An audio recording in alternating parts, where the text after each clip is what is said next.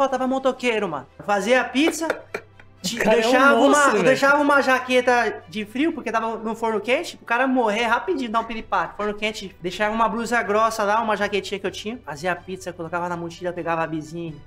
Nossa, você batia escanteio Quando- e quando corria você pra área pra cabecear. Quando você via que ia dar um gargalo, tipo, deu ruim aqui, esse cara não vai conseguir voltar a tempo, você já ia. Nada, ele nem vinha, mano. Às vezes nem vinha, o motoqueiro não vinha, faltava. Tá chovendo, esquece, o cara não vinha trabalhar, não.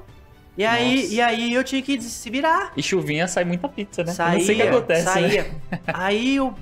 Aí quando eu chegava, pegava a mochilinha, pá, o baú, ia fazer a entrega, voltava, tinha um cliente no balcão esperando pizza, mano. E o motoqueiro, cadê o pizzaiolo? O pizzaiolo tá na entrega.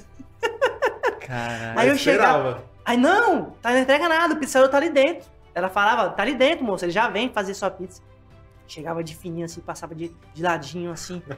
Tirava a blusa, já tava com a roupa, a dominha que eu tinha. Já tava com a dominha, pá. Tirava a blusa e passava a mão ca- no, no cabelo aqui.